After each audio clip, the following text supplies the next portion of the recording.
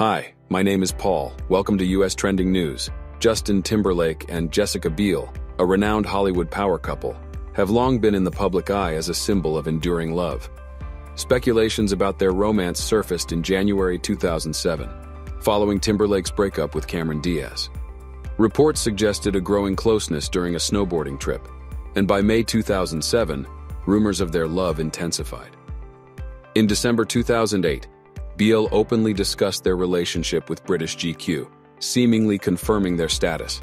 However, a temporary separation occurred in March 2011, only to be followed by a surprising reunion and engagement later that year.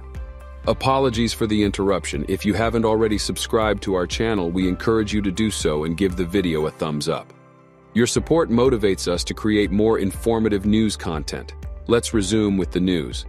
The couple exchanged vows in a private Italian ceremony in October 2012 and welcomed their first child, Silas Randall, in April 2015. Facing challenges in 2019 due to leaked photos of Timberlake with Alisha Wainwright, the couple remained resilient. In 2020, they welcomed their second child during lockdown. Despite enduring Britney Spears' revelations in 2022, which included a controversial abortion claim, Timberlake and Biel celebrated their 10th anniversary. Recent rumors of a split persist, with reports suggesting the couple seeks marriage counseling. Until an official announcement, the status of their relationship remains uncertain. That's all for now. Once again, to stay updated with the latest trending news, please subscribe to our channel.